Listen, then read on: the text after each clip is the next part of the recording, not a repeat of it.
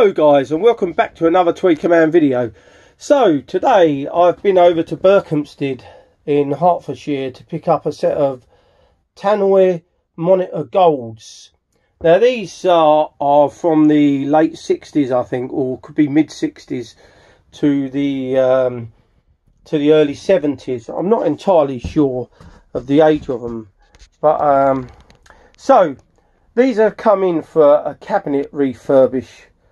So I'm going to restore the cabinets of these. So for some reason, this one has got a slightly smaller driver in it. Okay, to uh, this one down here.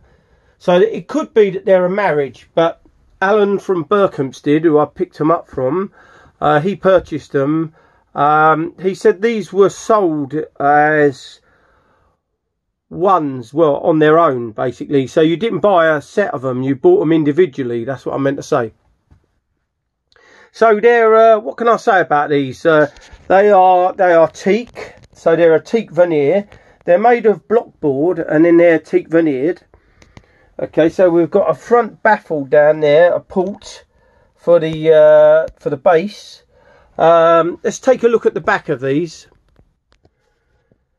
So this is the back. So we've got a couple of level dials there for treble. Uh, there's the old Tannoy sticker there. So I'm not going to touch the backs of them. They'll be masked up. Okay, now this is the connector down there for connecting your speaker cable. Okay, so let's just screw the back off and I'll show you the insides of these. So here we have the back panel off.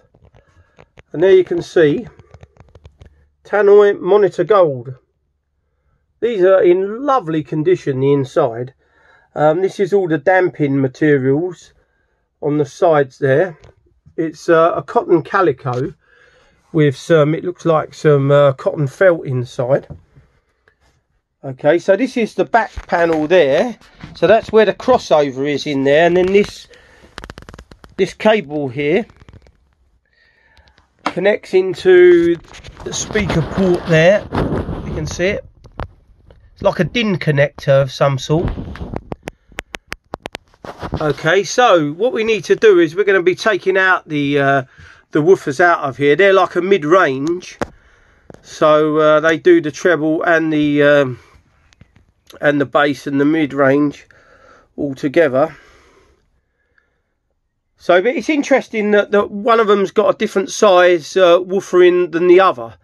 So whether it was replaced at some stage and they couldn't get the right size or whether they're just a marriage of two different speakers made into a pair, I don't know.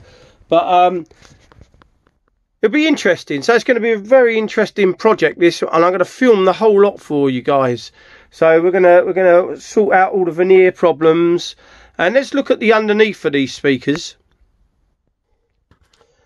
So these are the feet there on the underneath and uh, they're in a bit of a bad state so I'm going to replace all of this uh, with some birch ply and I'll, I'll, be veneering it, the birch ply with uh, teak veneer.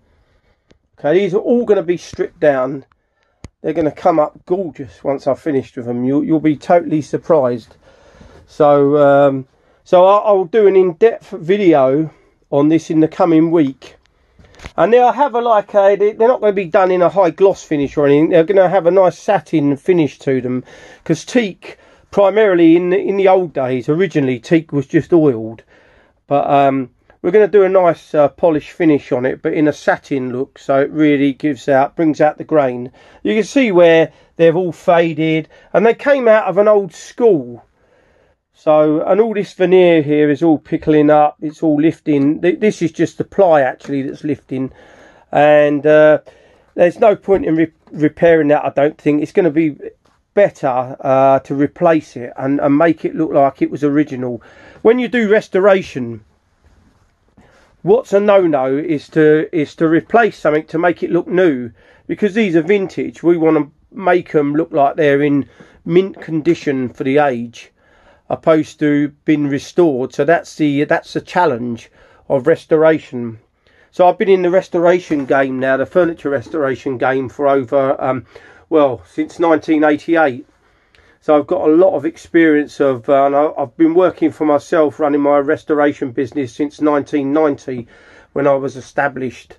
So uh, yeah, so this is uh, it's going to be a very interesting project, and the the, uh, the drivers they're in very good condition. They're uh, they're interesting. So um, and this one here is much the same, but just slightly larger. So there's not a lot in it really. One's uh, slightly bigger than the other. But uh, what we're going to do first of all, before we start the restoration project on these, is we're going to uh, test them to make sure they work. So I'll be doing that over the coming days just to see what they look like. So, uh, so if you're watching this, Alan, uh, you'll be able to see a uh, step-by-step -step, guide on how I restore these. So I think that's it for this video. Uh, I don't know too much more about these speakers yet. I'm going to do a bit of research on the internet and really get to know them. So uh, all I've got to say is thanks for watching another Tweaker Man video. If you're new to the channel, don't forget to subscribe. Don't forget to give this video uh, a like. Don't forget to press that notification bell so you're notified every time I upload a video. And thank you for watching, guys.